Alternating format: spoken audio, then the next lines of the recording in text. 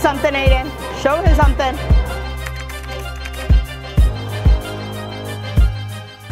So, what's your full name? My full name is Jorge Emiliano Sotelo. Uh, my name is Aiden Galarza. Hehe, tau, hello, hello. Tama James Tutuvuki. Uh, I'm Diana Elizabeth Sotelo. And uh, what gym are you fighting from? I'm fighting from Cal Street Boxing, Yeah, yeah. What city? Stockton. I'm fighting from Cal Street Boxing Gym. Cal Street Boxing in Stockton, California. Kashi Boxing, Stockton, California. I'm fighting from Cal Street, Stockton, California.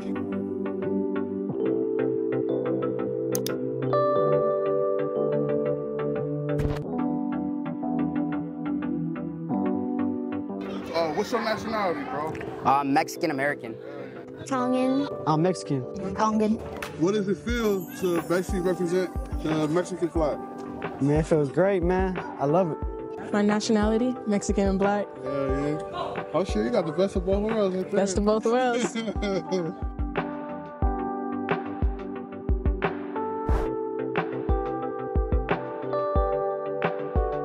How did you start boxing? Uh, well, it's always been in my blood. My grandpa used to box back in the days, my uncles too. But I really just got into it just to stay out of the streets, you know, Stockton. Kind of a bad area to be in, you know, stay out of trouble. I started up boxing from wanting to do it and from an incident that happened at school. Well, when I was little, I would always fight with my cousins, and my dad noticed this.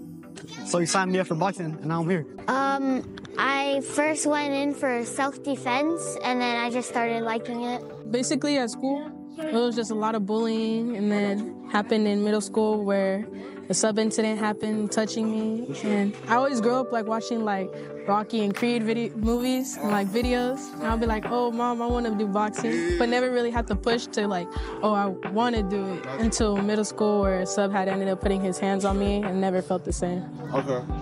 So you, do you consider it like like self-defense kind of shit? That's what you are? Self defense, Gotcha. more like self defense, or like when you hold a lot of emotions in, you need to get it out. It helps. I like that. And then, uh, uh, when did you start boxing? Like two, I was at another gym, but I started here like a year and a half ago. Okay, okay. Two years ago, almost gonna fight three.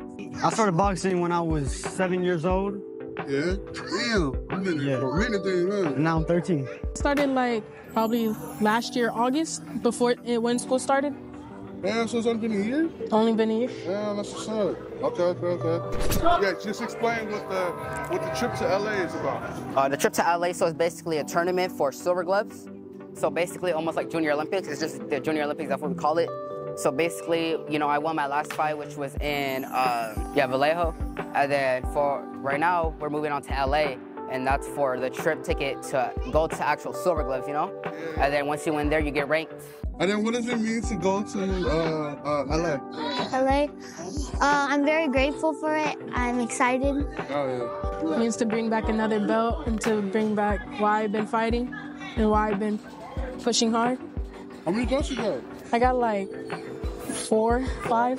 Damn, that's what's up. feels good, man. It just feels like, you know, we put all in this hard work, you know, running at four, or five in the morning every day before school, you know, running like two miles, three hours and hours in the gym, doing it over and over again. You know, it gets boring, but at the end of the day, someone's got to carry the belt. Someone's got to win those trophies. To LA, man, I'm hyped. I'm, I'm ready. I feel it. I'm, do- I'm doing it. The last one is uh, what do you want to achieve as a boxer? I want to be great. I want to make my family proud. Live in a big house, all that. I feel like no matter how hard it is or what sport it is, you're gonna get, you're gonna have to get pushed. But there's always gonna be a good out, outcome if you're disciplined enough in that sport or what you believe in or what you want out of it. There's always gonna be a good outcome of it. If you really want it, you gotta go get it. Be a Golden Glove boxer like my great great grandpa.